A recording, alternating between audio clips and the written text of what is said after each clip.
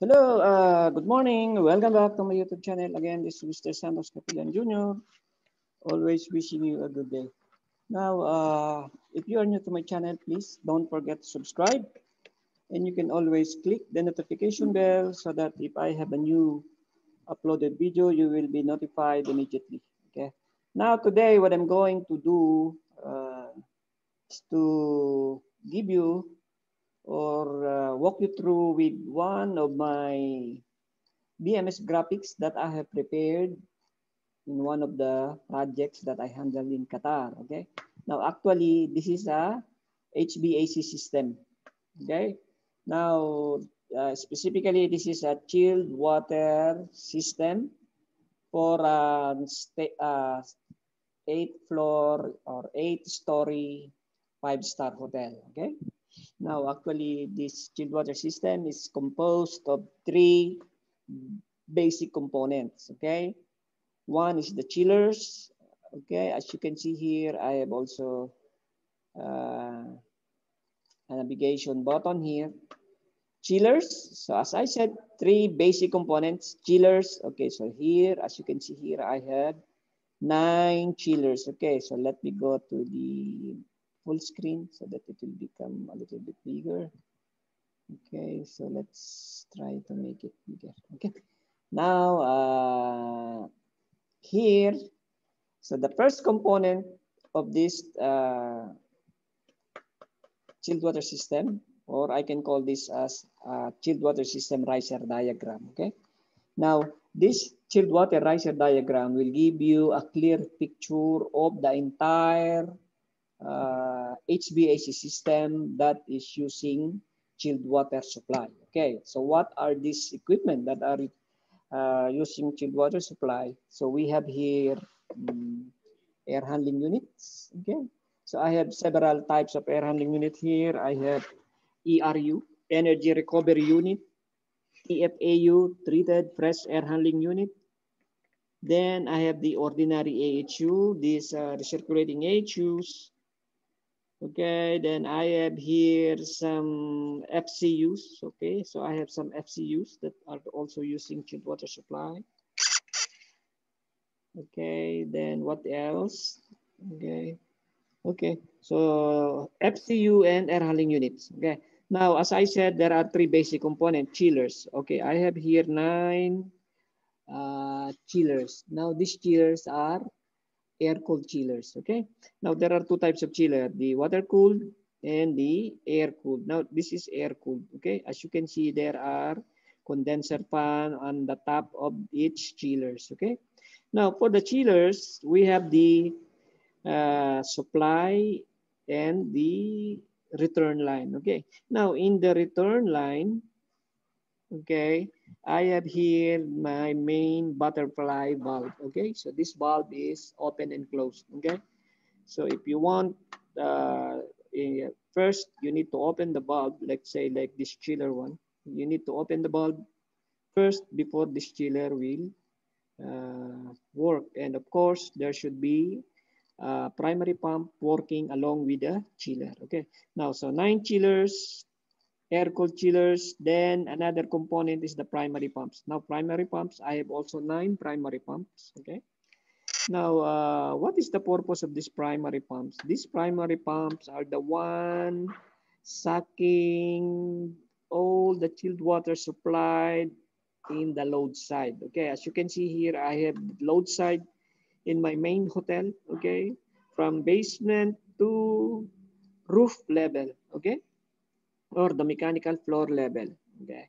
So as you can see here, I have here these buttons. If you want to go specifically to this air handling AHU24, you need to click this, then it will bring you to the AHU24 BMS graphics, okay? Now, I have also here some load in my uh, Thai restaurant, okay? Thai restaurant, and I have here AHU25 also. This is likewise serving Thai restaurant or yes, Thai restaurant. Okay.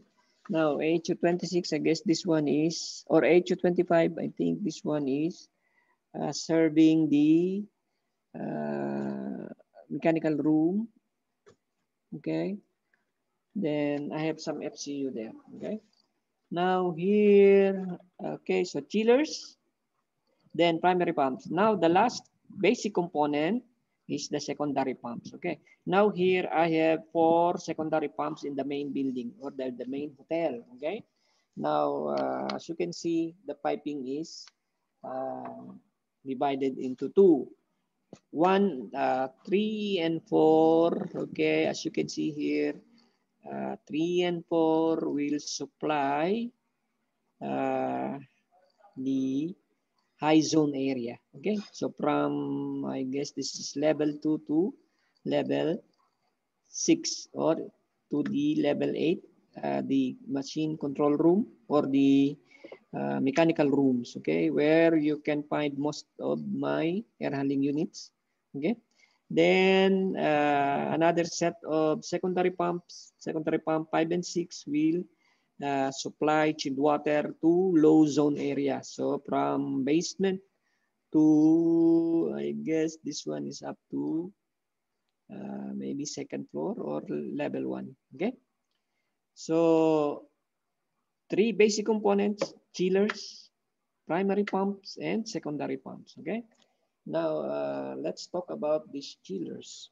Now, these chillers are uh, being controlled and monitored by a chiller plant manager. Okay, actually, this is a trained chillers. Okay, now if uh, you have a big chilled water system, you need to uh, hire their services for the chiller plant manager. Okay, when you say chiller plant manager, chiller plant manager will be the one to control the operation of the secondary pumps, primary pumps, and the chillers. Okay, they have a very good uh, software that will sequence all these chillers and the primary pumps and the secondary pump. Okay, so the main task of building management system here is to do the third party software integration. Now, what is third party software integration? When you say uh, software integration, you need only one communication cable going to their uh, chiller plant manager DDC panels. Okay, so what I did here is just to pull one communication cable. That that cable is um, I think that is uh, BACnet MSTP. Okay, so from their system, no, I think that was uh, BACnet over IP. Okay, so what I did just connect one Cat6 cable to their main panel then another, then pull the other end of that Cat6 cable to the BMS works uh, rack. Okay, so from the rack, uh, from my BMS rack, I pulled one Cat6 cable. Now I guess uh, this is not Cat6 cable because my BMS room is in the basement of the hotel. So I think what I did here is pull one uh, fiber optic cable. Okay, so fiber optic cable from my BMS rack going to the switch near the uh, DDC of their CPM. Okay, so I have there one media converter. So one media converter here from their uh, CPM DDC and one media converter in my BMS rack so that I can be able to get all this information. So what are the information from the chillers? I will be able to get what is the entering temperature and what is the leaving temperature in each chiller. Okay, then I can get also the status of all these butterfly bulb. Okay, now so in chillers I have two temperature sensors. Okay, for entering and leaving temperature sensor. Then I also have there one flow switch. Okay, so as you know, flow is very important in a chiller so that it will not trip because if there's no flow, your chiller will always trip, okay? So I have one uh, flow switch here, another flow switch here. Also, each chiller, there is one flow switch. Then two temperature or immersion type temperature to monitor the entering and leaving water temperature. Then the control for this open and close valve. Okay. Then uh, this butterfly bulb will open first before the chiller will run. So that's to establish the chilled water flow. Okay, so these are the chillers. Then I have here the main uh, entering temperature that is as, a, as a, is this showing now 11.8. Then the leaving water temperature in the main header is 6.5. So from the return line, it will be 11. Okay, then in the main leaving water temperature is 6.5. Okay, now as you can see here, I have also here air separator. Okay, this air separator will try to remove the air from the piping because air will try to give some problem in your pumps and uh, piping. Okay, now for the pump, it can create cavitation in your impellers or in your casing.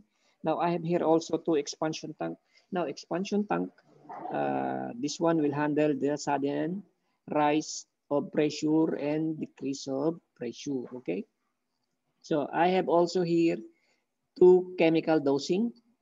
Okay, so I have a chemical dosing pump here that will continuously inject chemicals to always make sure that the water is well treated. Okay, now, uh, so those are the primary pumps, uh, chemical dosing, then this uh, expansion tank and air separator. Now I have also here two small secondary pump that will cater or supply chilled water for this air handling unit, AHU25 and the FCUs and the AHU26, okay? Now, uh, then in the main hotel, I have here four uh, secondary pump. Now, these secondary pumps are controlled by variable frequency drive, okay? Because uh, based on the load or load requirement or chilled water requirement in the air handling units, this uh, secondary pump will try to adjust the speed. Okay, let's say in the winter time, maybe very less chilled water is needed to cool the area. So most of the bulb will uh, closed. Now, actually, these bulbs are three-way bulb. Now, I have a three-way bulb here. Uh, this ERU, TFAU, ERU, TFAU. Some bulbs are not three-way, okay? Two-port only, okay? Now, uh, based on the differential pressure that I am installing uh, across the, what you call this, across the supply and return line, my secondary pump will try to adjust its speed, okay? So in order to control the speed of this secondary pump, you need to install a differential pressure sensors across the supply and return line, main supply and return line of your chilled water supply, okay? So those differential pressure transmitter will be the one to control the speed of the pump through the variable frequency drive, okay? So here I have also here some monitoring points for the chillers. Okay, so we have here chilled water supply temperature. So what is the chilled water supply from the main supply line? So as you can see, I have there 6.5. Now chilled water supply, as I said, it will go to 5 point something to 6.5. Okay, but basically they will try to supply around 5 to 6 degrees centigrade chilled water. Okay, now we expect that the return water temperature will be around 11. So 5 and 6, there is a delta T of 6 degrees, okay? Now bypass temperature, I have also a bypass line here. This is the bypass line, okay? Now the bypass line during uh, winter season, some of the water will just bypassing, meaning instead of going to the load side, it will just go back to the uh, primary side, okay? Or in the primary pumps. Okay, now I have also here chiller return temperature. Okay, this, so this is the main chiller return temperature here because in every chiller you have uh, entering temperature, entering temperature. Okay, now if you will see some question mark here, meaning the temperature sensor is not communicating or it is out of service.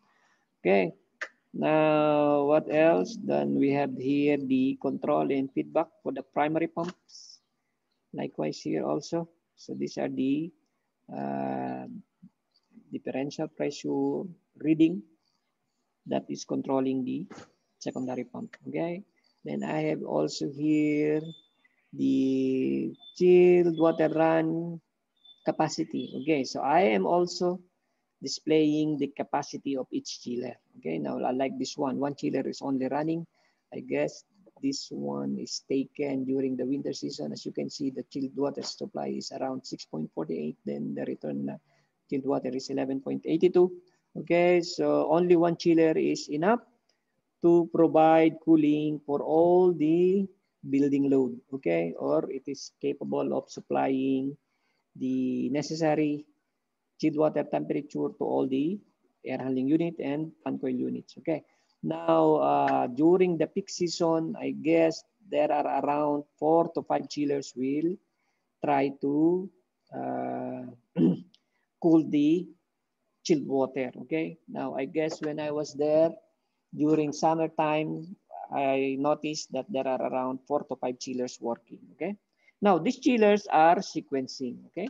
So you will be able to see that these chillers will try to uh, equalize all the run hours for each chiller. Okay, so that is the engineering practice to provide equal wear and tear for each chiller. Now, in the chiller plant manager, you can always put uh, a chiller in out of operation so that it will not be included in the sequence, especially if the maintenance people will do some uh, maintenance work or like cleaning the condenser uh, fins of these air-cooled chillers, okay? So chillers, primary pumps, secondary pumps, secondary pumps, and the uh, cooling load, okay? Or the air handling unit. Now, when I'm doing the BMS, or when I'm preparing the graphics, I'm always uh, taking in consideration the after uh, or the after if you are just like selling something up there sales support or I'm always thinking the facility management. Now, if you are the engineer of this uh, hotel, by having this kind of riser diagram, okay, you will be having a clear picture of what is going on with your chilled water system. So you will just sit in front of the computer, open these uh, graphics, you will be able to see what are the status of my air handling units. Okay, so you will see here these prime uh, secondary pumps are animated. You will see if it is running because it is animated. Then you will see, as you can see here, I provided all these uh, green buttons or green uh, like circle. This one will indicate that the air handling unit is working fine or there is no alarm in the air handling unit, then you will be able to see what is the uh, uh, what is the air uh, temperature, air supply temperature of the air handling unit being delivered to the area being served by its uh, air handling unit. As you can see here, I have 20, 20, 19.9, 20, okay, 18. Okay, now as you can see here, okay, that is based on the set point or the requirement in each air handling unit. Okay, so you can see here, you will be able to see in just one glance, you will be able to know if your chilled water system is working fine. Okay, so air handling units, you have a clear picture of it, what is going on.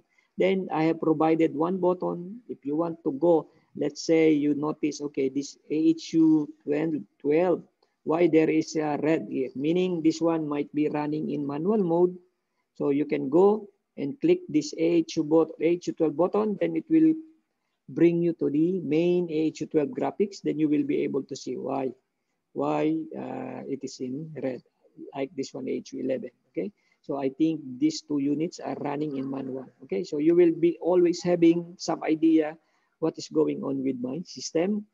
If the BMS engineer like me is preparing something that will help the facility management, understand the chilled water system or the HVAC system. Okay. Now in the chillers, you will be able to see, okay, how many chillers running? Okay, I have one chiller. What is the capacity of the chiller? That is around 65.6%.